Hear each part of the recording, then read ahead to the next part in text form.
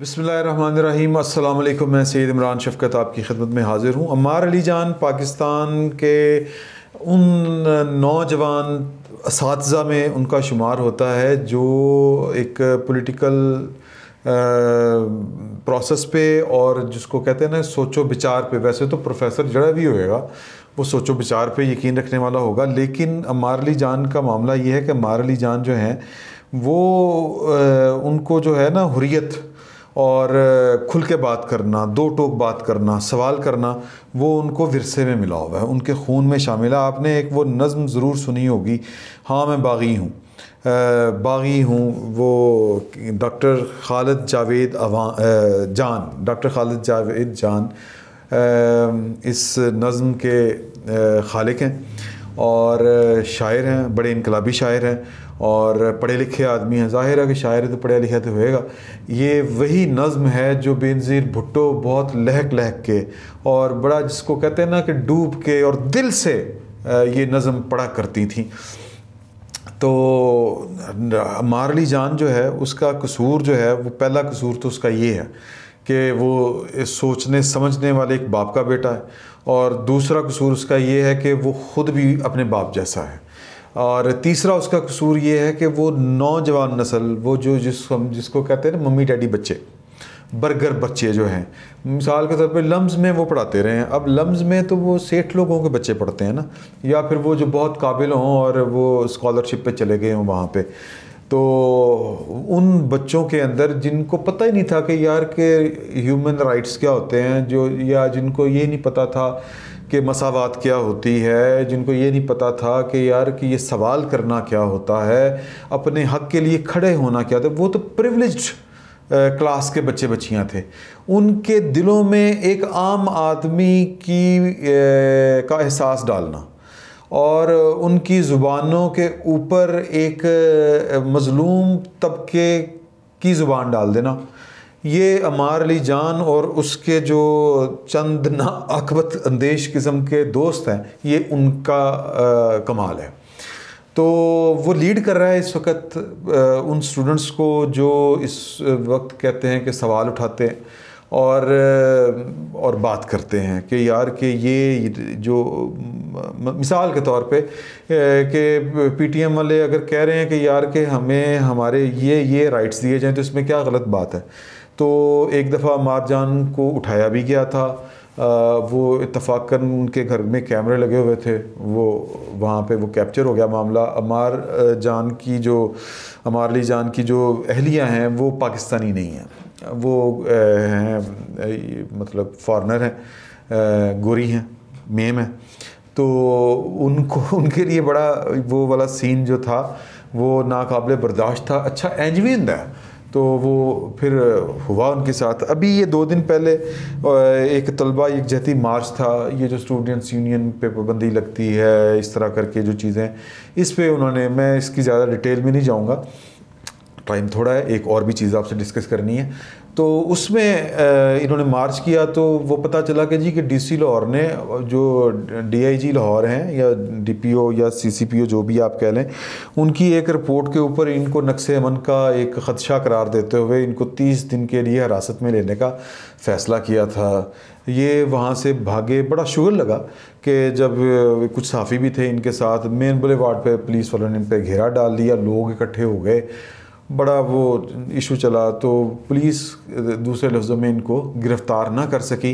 और आ, मामला ये हुआ कि अब पीर को ये अपना वो जो सोलह एम पी ओ के तहत जो डिटेंशन का या नज़रबंदी का आ, है हुक्मनामा डीसी लाहौर का उसको वो चैलेंज करेंगे अदालत में। लेकिन बात यह है कि अमार अली जान जो है उसके हाथ में कोई बंदूक तो है नहीं।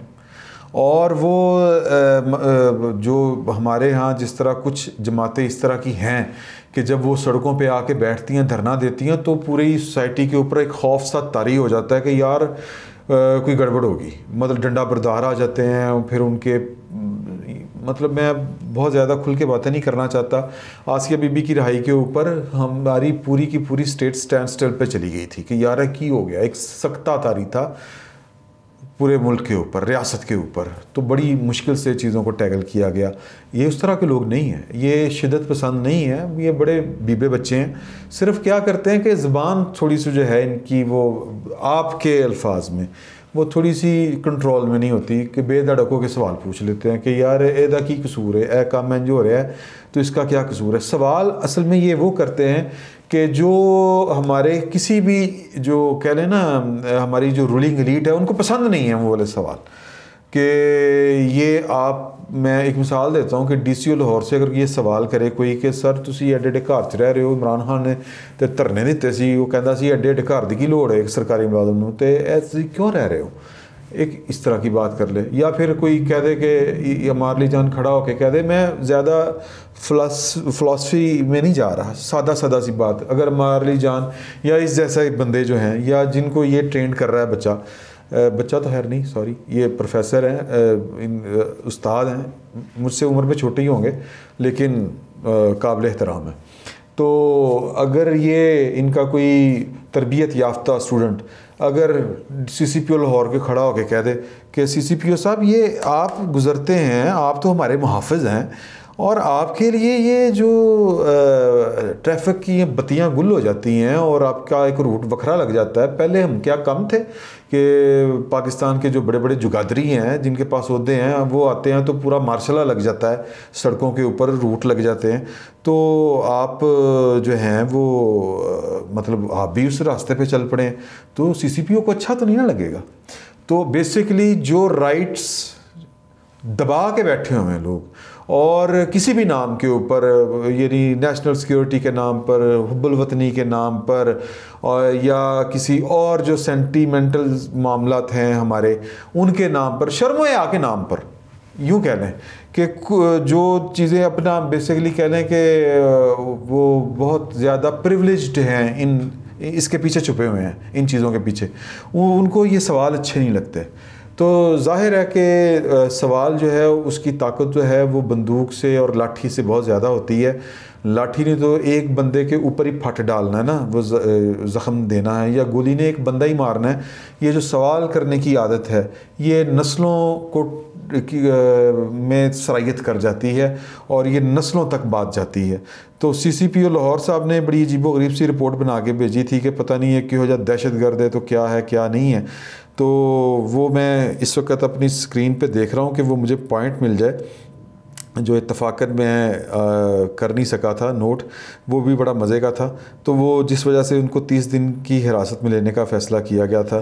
पर नक्श अमन का मामला ही आप समझें और भी बड़ी कि जी ये खौफ में मुबतला तो ये पता नहीं क्या नक्स अमन है ये इस तरह के अजीब गरीब से मजहका खेज़ किस्म के थे। और दूसरा मामला ये हुआ कि एक अच्छी खबर ये आई है गिलगित बल्तिस्तान से, हंजा से। आपको याद होगा ना वताबाद झील जब बनी थी तो वो भी एक कुछ लोग वहाँ के मकामी तौर पे कहते हैं कि जी ये बहुत ज़्यादा माइनिंग की वजह से हुआ था, ये पता नहीं क्यों हुआ था कि वो पहाड़ पूरा गिर गया, लैंडस्लाइडिंग हुई और दरिया का रास्ता रुका, झील बन गई। तो झील, सड़क, ये जो लोग मुतासर हुए इससे, गाँव के गाँव, उनके हकूक़ के लिए एक बाबा जान नामी पीयूज़ पार्टी के कारकुन थे, वहाँ के हंजा के। उन्होंने कोई रैली शैली निकाली, एक कोई बंदा भी वहाँ पे इस दौरान दिंगा मुश्ती जो पुलिस ने की, एक बंदा मर गया, इन सबको कोई चालीस से नबे साल के दरमियान कैद कैद मशक्क़त की सज़ाएँ हुई। इलेक्शन के दिनों में वहाँ पर धरने बहुत ज़्यादा दिए, इनकी फिर एक पार्टी लदा से बन गई थी, अवामी वर्कर्स पार्टी तो वो, वहाँ की जो अब निगरान हुकूमत है, उसने इनके साथ मुजाकर किए और इनकी सज़ा सस्पेंड करके इनको छोड़ दिया है। केस चलेगा एपलेट कोर्ट में इनकी अपील भी पड़ी हुई है, वो फैसला होगा। अब वो भी बंदा जो है, वो तो एक वाक्य हो गया ना जी कि इस तरह के जब मुजारे होते हैं, कोई एक बंदा मर जाता है, वो तो सिर्फ़ अपना हक मांग रहा था ना, कि यार कि ये हमारे लोगों के ये ज़मीनें आ गई पानी के नीचे, इन्होंने इन्होंने पैसे दे दो इनको कंपनसेट कर दे, उन पर हमने पता नहीं कौन कौन से मुकदमे चला दिए। रियासत, बाज़ मामला में बेरहम है। और जब हमने तो सुना है कि रियासत हमें तो कहा गया था, रियासत होगी मांगे जैसी। तो और फिर दुख वाली बात यह है। एक तो अच्छा काम हो गया। मैं अमार अली जान वाले मामले में ये बात आपसे कर रहा हूँ कि वैसे भी बाबा जान जब आए, इमरान खान आए थे तो ये काम तब भी हो जाना चाहिए था। लेकिन नहीं हुआ। और ये क्यों नहीं हुआ? अल्लाह बेहतर जानता है। इस पर बातें करने वाले बहुत बातें करते हैं और बड़ी बड़ी अजीब सी भी करते हैं और वो भी करते हैं कि फिर वो फिर हमें, वो भी बातें होती हैं कि फिर वो पर जलना शुरू हो जाते हैं। लेकिन हमारे लिए जान वाला जो मामला है, ये इमरान खान के दौर में ये बातें हज़म नहीं होती। इमरान खान आज़ाद अजहारी राय इस्तेमाल करके यहाँ तक पहुँचे। इमरान खान अमार अली जान और इन जैसे हज़ारों, लाखों जो नौजवान हैं पाकिस्तान के, उनकी सपोर्ट से यहाँ तक पहुँचे हैं। और कि बात खुल के कर, उठ बाँध कमर क्या डरता है, फिर देख खुदा क्या करता है, इस तरह के नारों के साथ। और ब्लंटली सवाल करने वाले। और मतलब ये कमाल था ना कि आप जो एक जगड़बंद थी सत्तर साल से पाकिस्तान की रियासत के ऊपर, उसके ख़िलाफ़ आप बात करते थे, लोग इसलिए आपके साथ हुए थे। और आपके दौरे हुकूमत में फिर ऐसे ही लोगों के ऊपर कि सिर्फ़ जो ज़ुबान से बात करते हैं, सवाल करते हैं, उन पर ज़िंदगी तंग कर दी जाए, अरसा हयात तंग कर दिया जाए, उनकी आज़ादियाँ छीन ली जाएँ, और उनको पता नहीं कोई एहसान एहसान टाइप की कुछ चीज़ बना के पेश किया जाए, और सरकारी खातों में उनको कोई ख़तरनाक तरीन पाकिस्तान का दुश्मन करार दिया जाए यार, ये बड़ा जुल्म है, ये बड़ी ज़्यादती है। इमरान खान साहब, ये आपके मैंडेट के ख़िलाफ़ है।